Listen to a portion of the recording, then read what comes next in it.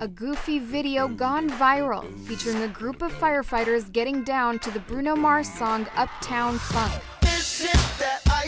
But the message behind the video is much more meaningful. These men joined forces with hundreds of Pasco County firefighters to send messages of love and support to their colleague, firefighter paramedic Kathy Babcock, who was diagnosed with breast cancer in August.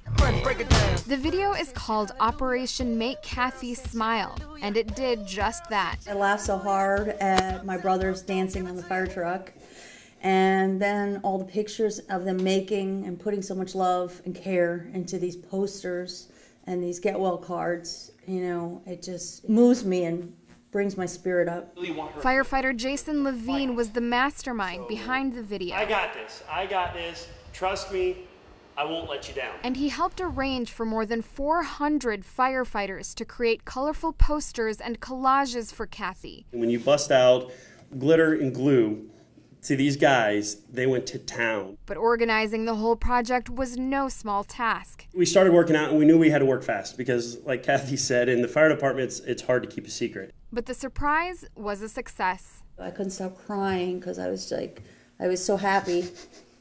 Good. Kathy is continuing to undergo treatments, and in the meantime, I'm fighting twice as hard because of these guys behind me. And everything that they do to help me.